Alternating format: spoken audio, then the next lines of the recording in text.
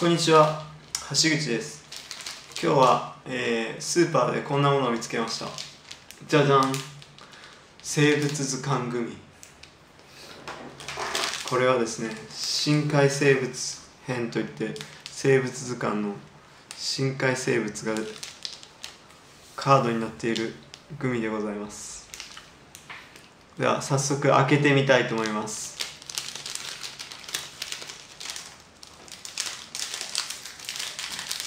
どんなものが入ってるのかな。これは面白そうなグミですね。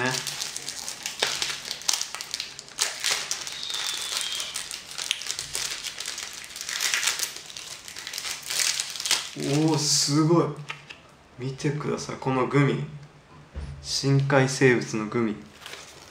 そしてシーラカンスのカードが入ってました。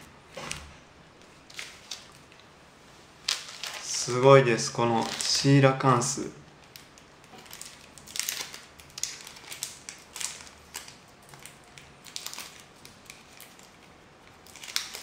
すげえ。すごい。シーラカンスだ。アフリカのコモロ諸島沖やインドネシアのスラベシ島沖など水深150から700メートルに生息。